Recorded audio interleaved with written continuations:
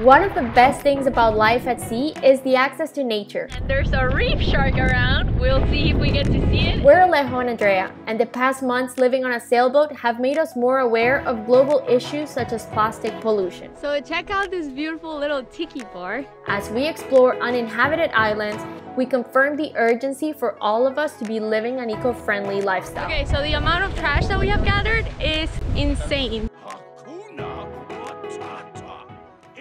What's up guys? So we are on the move again and we're going to South Ragged Island or to the one that's more south. We have like around from 18 to 23 knots. We have one reef in and we're going about 7 knots, 7.5. Yeah, it's pretty choppy conditions, rough conditions.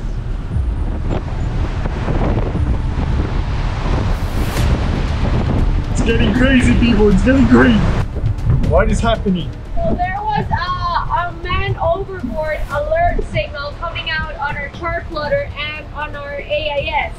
So we thought it was a catamaran that was sailing north, but apparently we contacted on the radio, we contacted them on, on channel 16 and it wasn't there. So we're trying to figure out, we're sailing with our buddy from La Gracia, maybe they're getting the signal. We have the coordinates here, so I, we tried looking if we a waypoint and see where that is.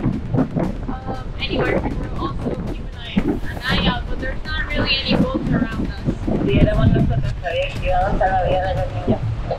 Ah, okay, okay, okay, good to know, menos mal. Thank you guys for, for avisarnos. Sí, menos mal. Vale. So our buddy from La Gracia, the life jacket of their kids, it had emitted the signal. It seems like, I don't know if it maybe pressed itself, who knows what happened, and it was emitting the signal. So, well, now we know. Thank God nobody was in the water and nothing bad was happening. If you guys are wondering of our sailing upwind capabilities, I'll show you guys. So we are in neutral, engines off, we have 19 knots of wind, around 45 50 degrees. We have La Gracia, they're going at 6, and we have the mainsail reef and the jib out, and we're going at pretty good speed. We're going at 6 knots. All right, so we made it to the Why is it that there's not a bad spot here in the Bahamas? Because the water's just so beautiful and so perfect. So there's never a bad spot. But anyway, we made it here and now we're gonna head for a beautiful and nice day at the beach. We are gonna do a little cook-off. Uh, we spent the morning at the beach with the dogs and now we're just gonna let them rest because they love sleeping. And we're gonna do lunch at the beach with some awesome people. What are we gonna have for lunch? We're gonna do chicken, sausages, rice, plantain. That's it, right? Yeah. This is like camping in the Bahamas. Check it out. He's taking his chicken. We're taking some rice. We're so prepared. I don't know, I don't know, I don't wanna grow. Just myself. Uy, qué chévere. So, why do we have that camping stove? Uh, just in case our electric system stops. Well, you've already used it? Yeah, so in Miami, when our when everything stopped working, like the inverter, the generator, we were actually using the camping stove for about almost a month. We can live without a lot of things, but not without food. So that's why we have it. Hi, Jose. Hey! Hello. What you cooking? We're gonna cook the plantain, then the chicken. I know the grill looks a little bit messy, but it is what it is. So check out this beautiful little tiki bar. I think it was built by a person that lived in this island before and it was all like put together and decorated by sailors that have made it here to this anchorage and this is called hockey and look at this check it out it says SB1 light puddle jumper Where's the life I? Where's my shy hair? Is this called living? Maybe we should totally make a little thing here so we can put SV Hakuna Where's my shy hair? Is this called living? We're back in the move. we're moving because there's a westerly front coming so everyone's just like going to get a spot and we're like sailing with uh, 10 boats. There's one right there. There's three behind us. I don't know if you can see them. You can just see the AIS it's like a race. All those little boats. And more people just are arriving here it's crazy. Everyone is on the move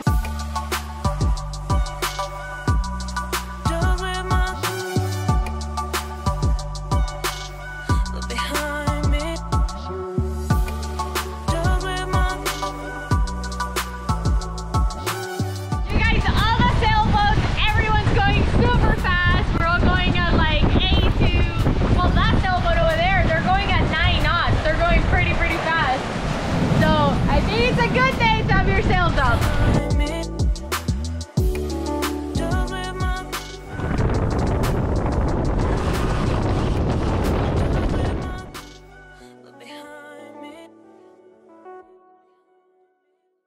We are still in the beautiful Ragged Islands, and today we're gonna do something pretty fun. And according to our source, which is our neighbor La Gracia, we are about to go to the best snorkeling spot in the Bahamas. How does that make you feel? nervous Why? because we're gonna see everything everything. And last time I went into the water with Jose, we saw a huge barracuda the size of a shark. And if you guys remember the last time that we went spear fishing, that I caught a fish, our spear pole broke. But Alejo is such a handyman, he fixed it with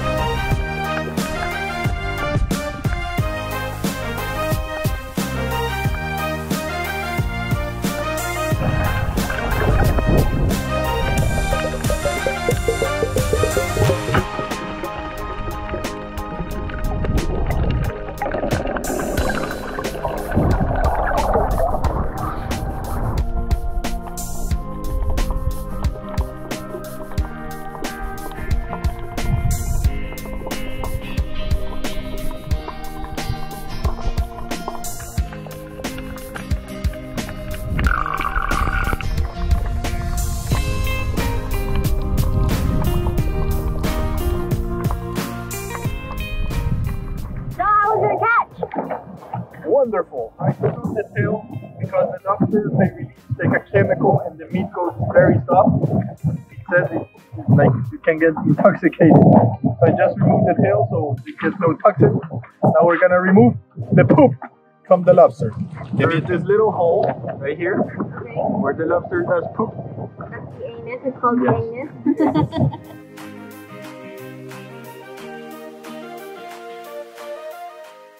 Put it through here. okay, there you go. Up. Ah, It comes out. that's their intestine. Intestine with the poop particles. Poop particles. You can get pink eye from that.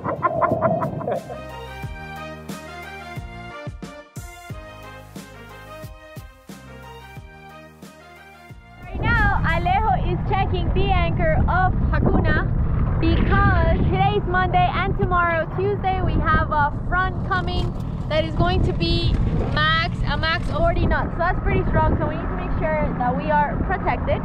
We anchored here this morning, but uh, the front is going to be coming from there. The, the front is gonna come. It's gonna be starting from southwest to northwest. So we're gonna get protection from this island. We just gotta. We wanna see if we can move the boat closer. So just in case if we drag, we have more space towards the back. The problem is that this morning when we try to anchor, it seems like the holding it's very rocky. It's rock and then a little layer of sand. And so we have to make sure that the place where we throw our anchor it's a lot of sand because if it doesn't grab properly, then we're gonna drag for sure in 40 knots of wind.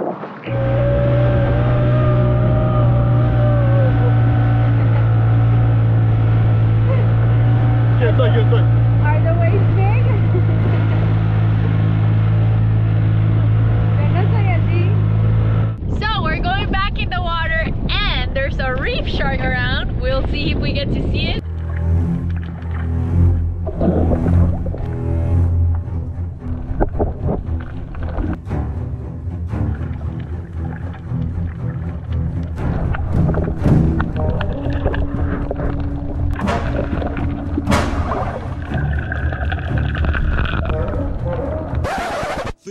Fish are friends, not food. Ah, o si nos salió un bloque de cemento. Ok, suerte. bueno, muchas gracias. Que descansen. Igual. Who are you talking to? Our neighbors. Why? We, we were getting a bread recipe because we have no internet. and we want to make some bread. Are you dreaming of some bread with butter and jelly? Yes, totally. Today we'll be cooking with Chef Andrea. We're gonna make some bread. It sucks to have no internet. We have to do what people used to do the old days. Okay, so one cup of water. Three fourths teaspoon of salt. And two cups, one fourth of all-purpose bleach flour. Now we need one teaspoon of yeast.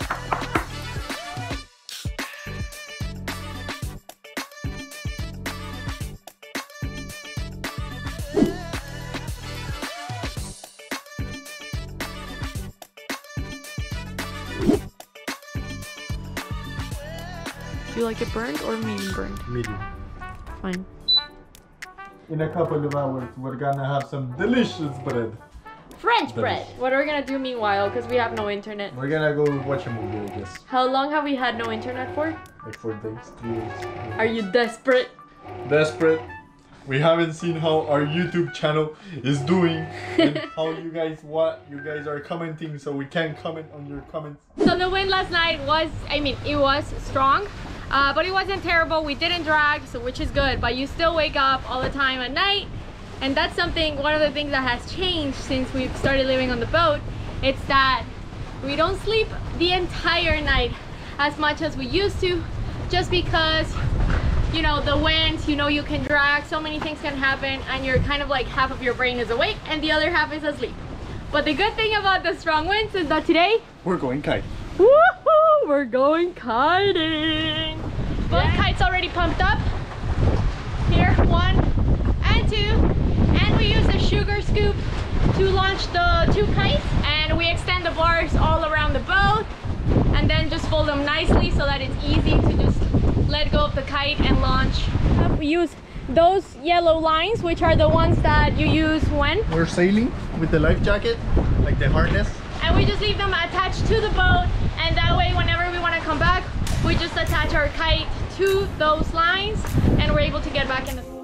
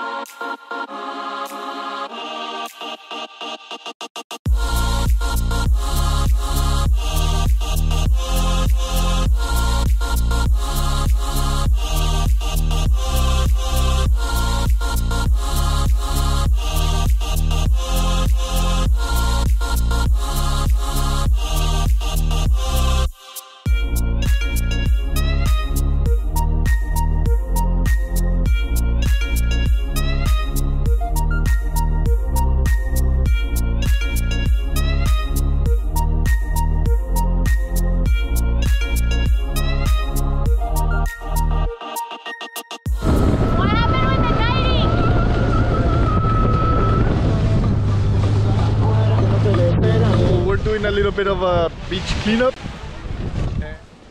Okay, so the amount of trash that we have gathered is insane. Insane how much trash there is in the entire beach. Really bad. So the question is, what do we do with it? Do we burn it? Or what do we do? But plastic is really bad when you burn it and it actually contributes to climate change. And so the answer is that we're caving a hole so we can actually put all of the trash and the plastic inside that hole, put it back, close it, and then that way all the trash doesn't end up back at the beach. So, baby, how's the hole going? Woo! It's coming. We're making it. The workout. Woo!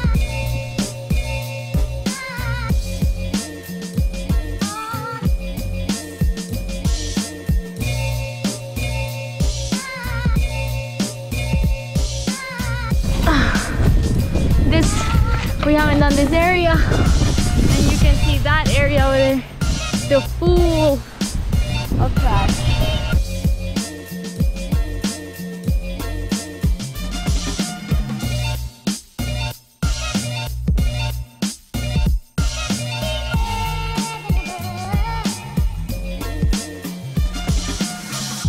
You see, stereophonic sound for the home is recorded on two separate tracks, one giving special emphasis to certain sections of the orchestra, as heard from those positions.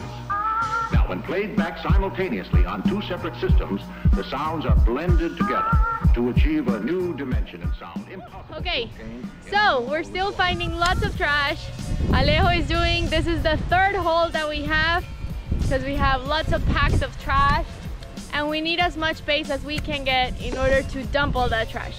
So you're probably thinking, why don't we take the trash with us? First of all, it's a lot of trash. Second of all, I believe the Bahamas doesn't have the infrastructure. I believe they burn all of the trash here in the Bahamas, if I'm not wrong. I don't think they have landfills. And so either way, this trash is gonna end up burned. When you burn plastic, it's actually bad for, it contributes to climate change. I'm not sure, I don't know all the information about it, but I know that it contributes to climate change, so that's not a good idea.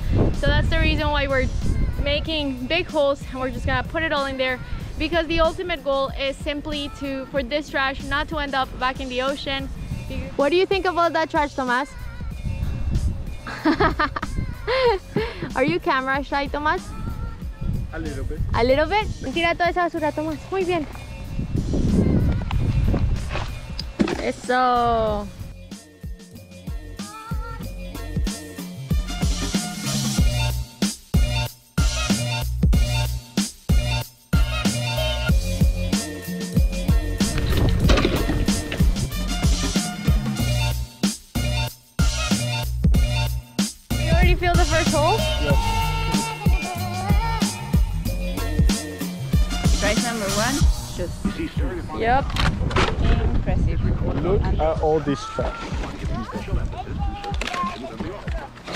Those positions. Now, when played back simultaneously on two separate systems, the sounds are blended together to achieve a new dimension in sound, impossible to obtain in a monaural recording. We picked up the rest of the beach and we have three more holes to throw it into.